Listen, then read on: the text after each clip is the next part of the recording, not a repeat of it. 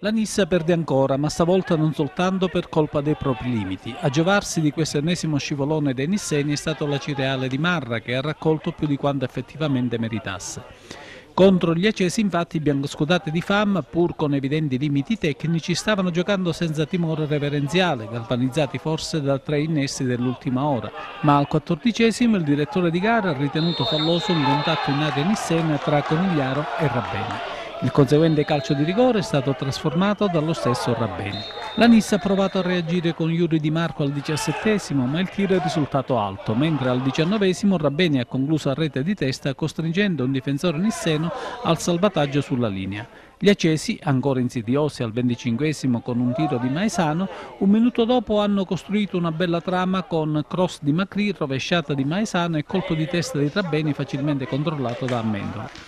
Al trentunesimo Bica Badan ha cercato la rete direttamente sul calcio di punizione ma il tiro è stato deviato da un difensore in barriera.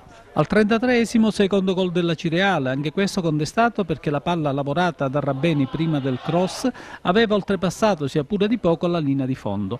A mandare il pallone alle spalle di Ammendola ha poi provveduto Davide Di Marco con un goffo intervento. Il gol del 3-0 a Cese è stato realizzato al 38 ancora da Rabbeni, involatosi sul filo del fuorigioco. Prima del riposo ha tentato la conclusione Maesano ma la palla ha superato la traversa.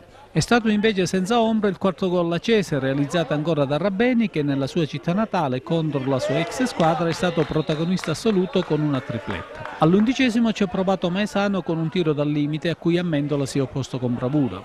Poi nulla più sino alla fine, a parte un nuovo tentativo degli accesi al 43esimo con Amendola che ha evitato la capitolazione con un doppio intervento.